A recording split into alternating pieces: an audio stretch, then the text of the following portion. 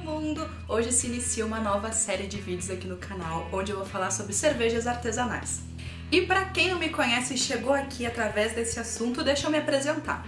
Meu nome é Jéssica, eu já sou youtuber tem 7 anos. O canal surgiu inicialmente para falar sobre maquiagem, moda, mas conforme os anos foram passando e os assuntos e interesse foram mudando, hoje o canal é minha vida, eu trato sobre tudo. E uma das coisas que eu mais amo é cerveja, então por que não trazer esse assunto para cá? Eu não sou expert, eu não sou sommelier, eu sou apenas uma pessoa que gosta muito, que é fissurada por esse universo, que bebe cerveja pra caramba, que estuda muito sobre isso e vai começar compartilhar experiências. E trocar informação é sempre muito legal. Para esse primeiro vídeo, eu pensei em fazer um guia de cerveja para iniciantes, pensando que muito aqui do meu público é leigo nesse assunto.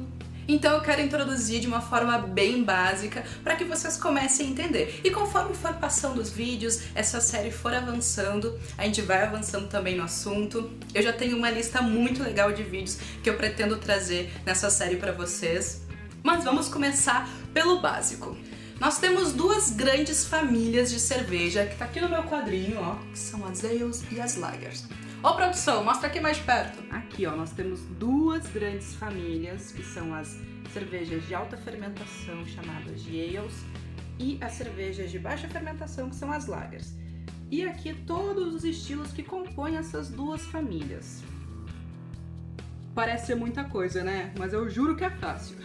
Nós também temos uma terceira família de cervejas que são as lambics, que são cervejas de fermentação variada, mas nós não vamos falar sobre ela. Vamos focar nessas duas grandes famílias que são mais comuns, mais comerciais e que vocês vão lidar com elas na sua vida. Vamos começar falando da família Lager.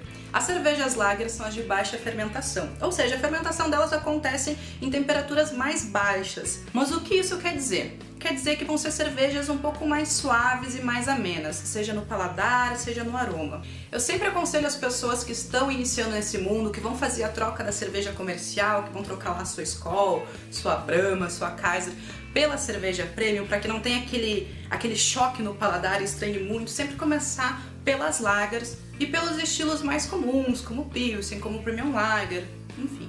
E nós temos a família Ale, Ali, como você quiser, que é exatamente o contrário, são cervejas de alta fermentação, onde a fermentação acontece em temperaturas mais altas, o que ocasiona da cerveja ter um paladar mais encorpado, um aroma mais intenso e normalmente também são mais alcoólicas. Essas duas famílias totalizam mais de 50 estilos de cerveja, então é cerveja pra caramba. É muita coisa aí pra gente conhecer e pra gente degustar juntos. Mas hoje eu vou falar só de alguns estilos de cada família para vocês. Os mais conhecidos, os que vocês vão encontrar mais à venda. E depois a gente vai se aprofundando juntos e conhecendo outros e outros estilos. Começando pela Lager, nós temos o estilo Pilsen, que na verdade eu acho que é o mais conhecido e o mais fácil das pessoas se adaptarem e apreciarem, porque ela é uma cerveja extremamente leve, um tom de amarelo bem clarinho, uma cerveja bem transparente, de sabor super ameno. E diferente do que muitas pessoas acreditam, as nossas cervejas comerciais aqui do Brasil, elas não são Pilsen, elas são light lagers mas não caracterizam o estilo. E na verdade eu acredito que eles dão o nome de Pilsen para as nossas cervejas uh, mais para as pessoas já saberem mais ou menos do que se trata do que realmente seu estilo. Nós também temos a cerveja Viena, que ela já tem a coloração mais acobreada. A cervejaria Bierland até fez o rótulo dela com ruivo, assim.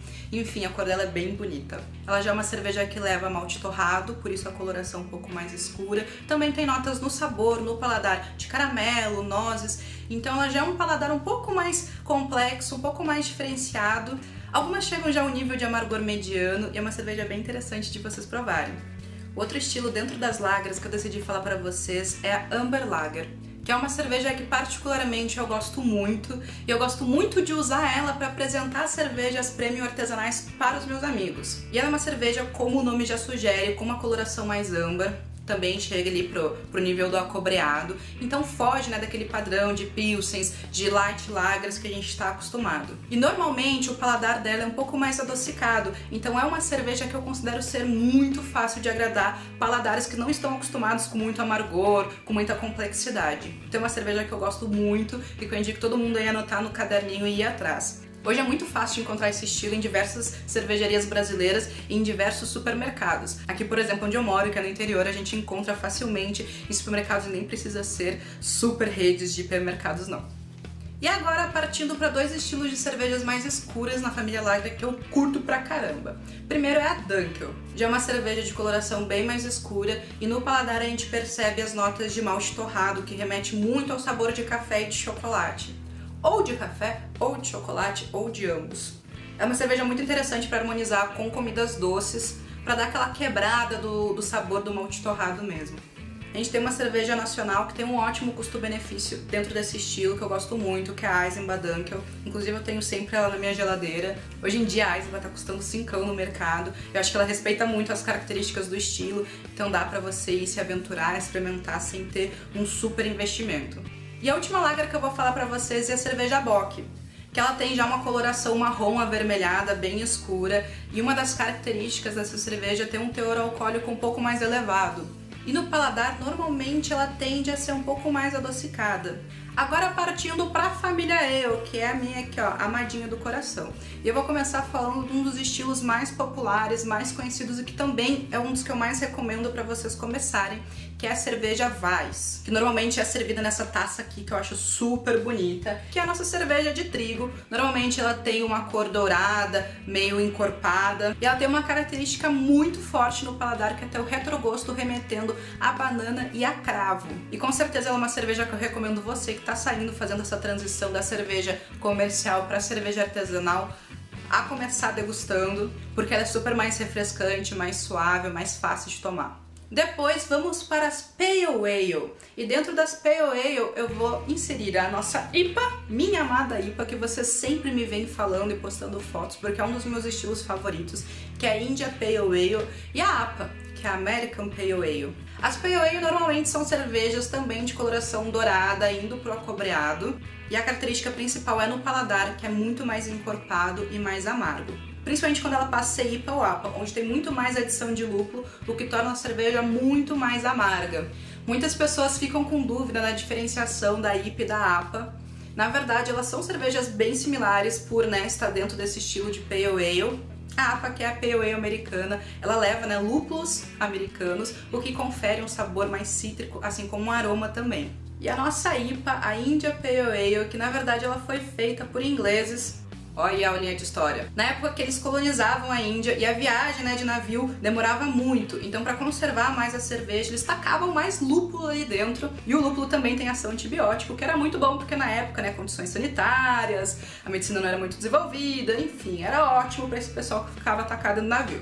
E esses lúpulos são assertivos, então o que torna a IPA bem mais intensa e amarga. É um estilo que eu particularmente gosto muito, tanto a IPA quanto a APA, porque elas são cervejas de paladar super encorpado, bem amargas, mas o aroma cítrico, frutado, acaba tornando elas muito agradáveis, pelo menos ao meu paladar. Eu acho muito difícil quem tá fazendo a transição sair de uma Skol e para uma IPA e gostar de primeira, porque a diferença no paladar é gigantesca provavelmente você vai beber e tomar um susto. Por isso eu sempre recomendo começar pela família Lagra, depois quando partir para Zeio e Navais, porque assim você vai treinando o seu paladar para ir tomando cervejas de paladar mais complexo ou mais intenso.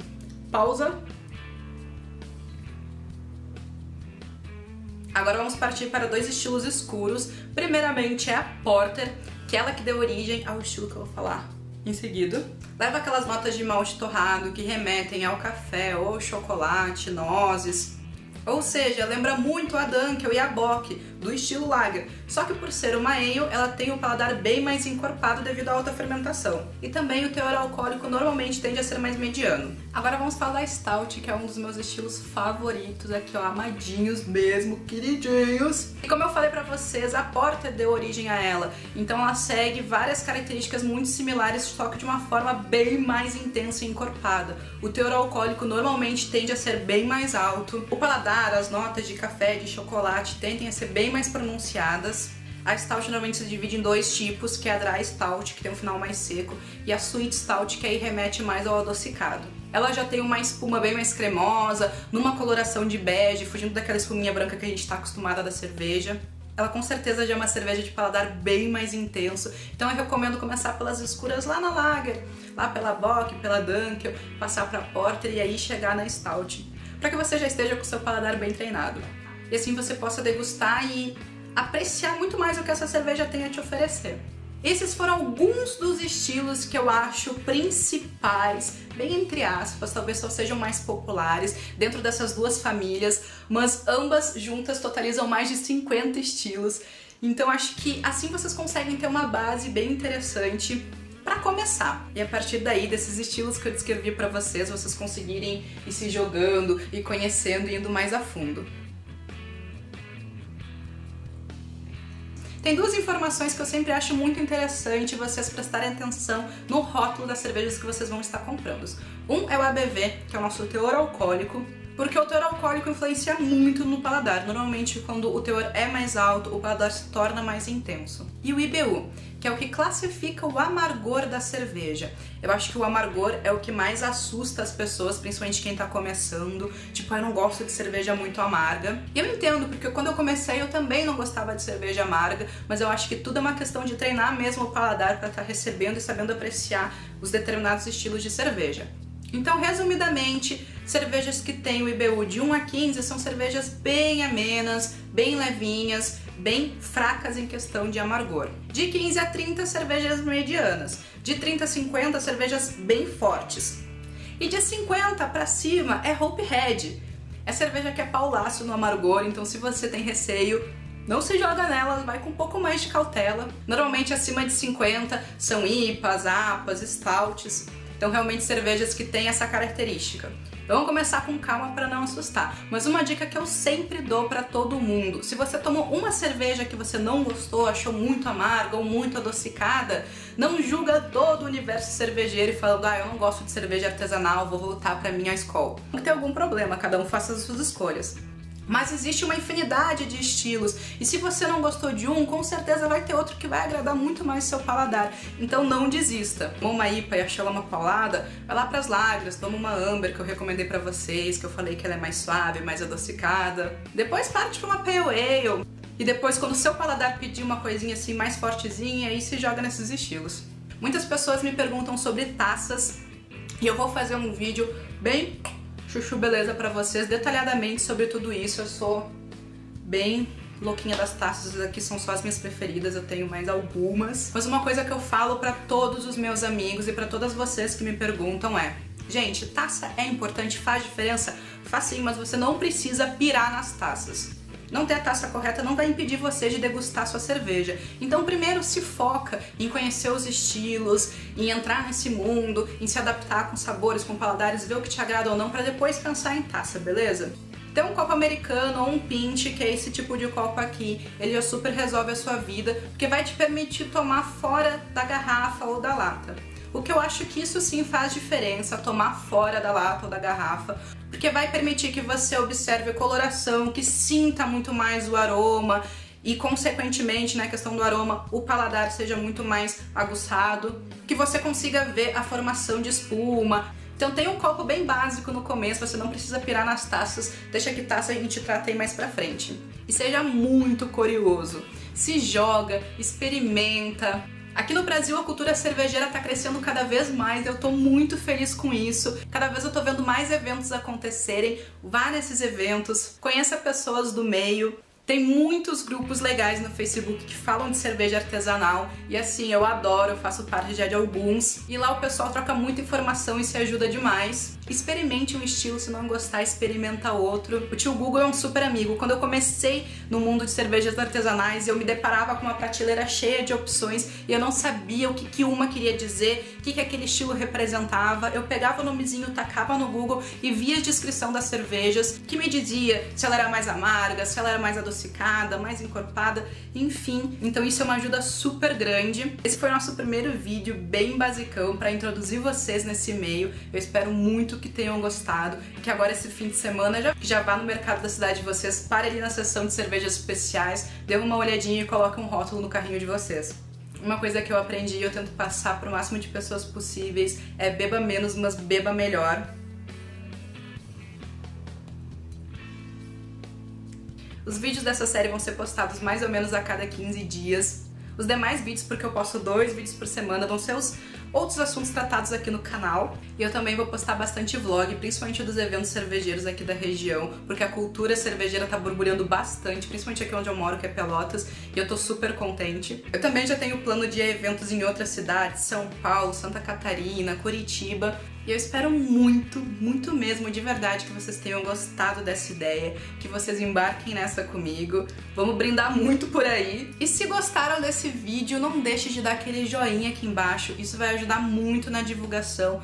Pega o link, compartilha no seu Facebook, marca os amigos que curtem cerveja, manda pro pessoal que você conhece, joga o link aí num grupo sobre cerveja que você participa, marca aqueles amigos que não conhecem sobre, mas que você quer apresentar o mundo cervejeiro para eles. Vamos chamar mais e mais pessoas para essa família. E é isso, esse vídeo foi feito com muito carinho mesmo. Fazia tempo que eu não estava tão empolgada em trazer alguma coisa aqui para vocês e tô torcendo para que e vocês entrem nessa comigo. Se gostou, dê aquele joinha, comenta, se inscreve no canal para estar tá sempre por dentro aí dos conteúdos. Um super beijo e a gente se vê no próximo.